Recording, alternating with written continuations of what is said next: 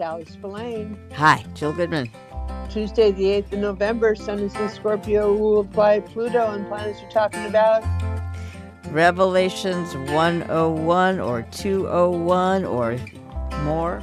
uh oh, Revelations coming up.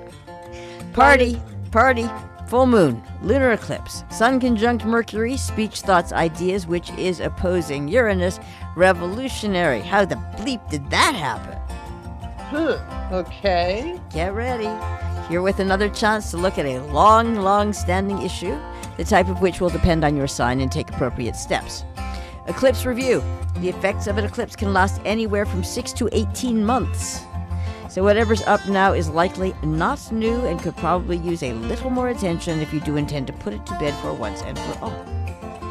On the topic of putting things to bed for once and for all, immutable universal law, there are certain circumstances that are beyond your control. And should you happen upon one or two or three or 17 of these, particularly in the commercial, business, or relationship arena, let things unfold rather than fretting about your lack of leverage. Surprise, surprise, it will work out even better than had you been in charge. Also, rather than being publicly grumpy about your prospects, leave yourself the option of becoming more sanguine than you are now. And separately, if you are figuratively or literally watching the parade and you suddenly realize that instead of being outfitted in cloth of gold, the emperor is buck naked, he is. The million dollar question, however, is whether it serves you to mention it, and if so, what might be the most diplomatic or efficient approach.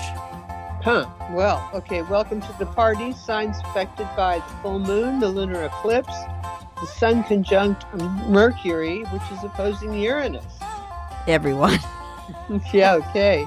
And if one's birthday, is in November. The sooner you start fresh and stop wearing history as a hair shirt, the happier you will be with your various relationships.